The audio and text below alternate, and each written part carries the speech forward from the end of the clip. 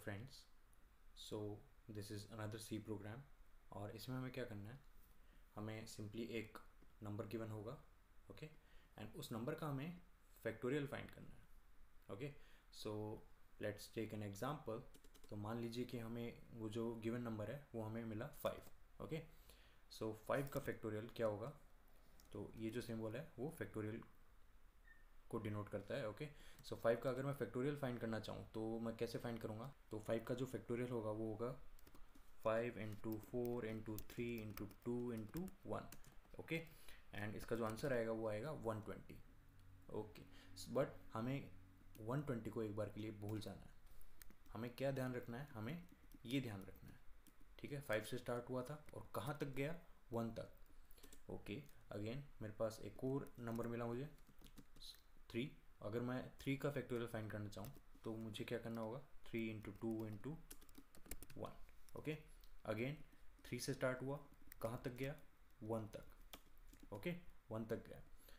तो क्या आप यहाँ पर कुछ कॉमन चीज़ देख सकते हो?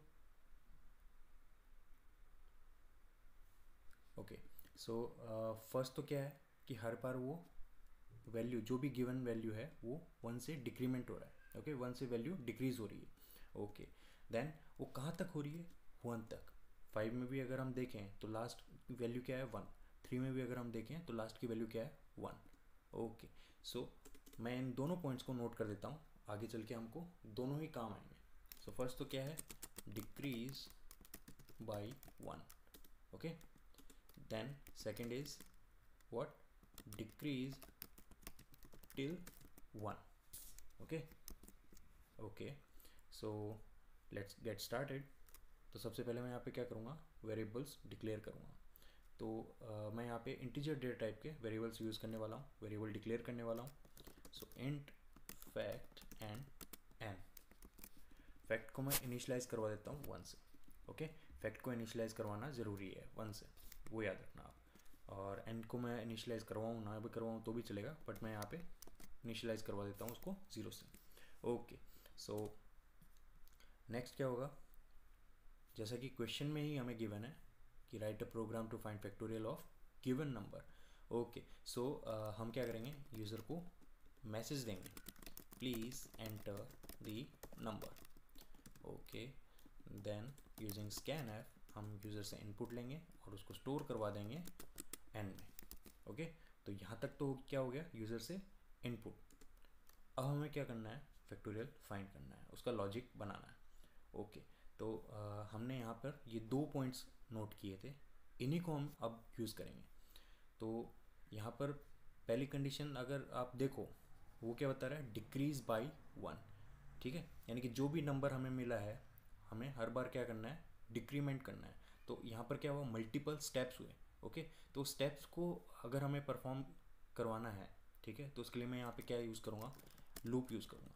तो मैं यहाँ पर वाइल लूप यूज़ करने वाला हूँ। आप अगर चाहो तो फोर लूप भी यूज़ कर सकते हो। ओके एंड सेकेंड हमने यहाँ पे क्या बताया? Decrease till one okay till one मतलब कि जैसे कि आप यहाँ पे भी देख सकते हो कि कहाँ तक गई वैल्यू वन तक. यहाँ पे भी वन तक. यानी कि वन तक हमारी वैल्यू डिक्रीज होनी चाहिए, जब तक कि हमको वन ना मिल जाए। ओके तो मैं यहाँ पर कंडीशन लिख सकता हूँ। While n is greater than zero okay. Okay, so this is our condition. So, अब हम इसके अंदर स्टेटमेंट क्या लिखेंगे? वो स्टेटमेंट सिंपल सा स्टेटमेंट होगा. Fact equals to fact into n okay अब हमें डिक्रीमेंट भी करवाना होगा, क्योंकि आप देख रहे हो हर बार क्या हो रहा है? वन से डिक्रीज हो रही है value so n minus minus okay so this is our logic and finally हम क्या करेंगे? जो फैक्टोरियल है, जो फैक्टोरियल है, वो डिस्प्ले करवा देंगे।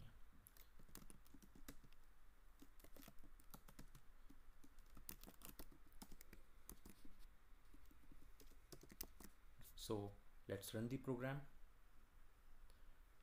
message मिला please enter the number so मैं यहाँ पे फ़र्स्ट क्या एंटर करूँगा? फाइव आंसर क्या है?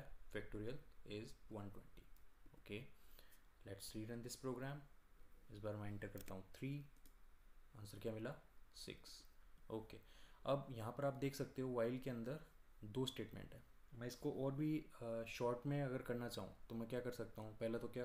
कि मैं यहाँ पे शॉर्ट एंड ऑपरेटर यूज़ कर सकता हूँ। ओके एंड दूसरा, मैं यहाँ पर डिक्रीमेंट जो है पोस्ट डिक्रीमेंट ऑपरेटर यूज़ कर सकता हूँ। ओके सो ये हो गया हमारा सिंगल स्टेटमेंट के अंदर। यानी कि लूप के अंदर हमारा सिंगल स्टेटमेंट में ही हमारा लॉजिक बन गया। Again let's rerun this program इस बार मैं वैल्यू एंटर करता हूँ सिक्स तो आंसर आना चाहिए seven twenty so factorial is seven twenty so this is how we find out factorial of a given number okay so thank you so much for watching this tutorial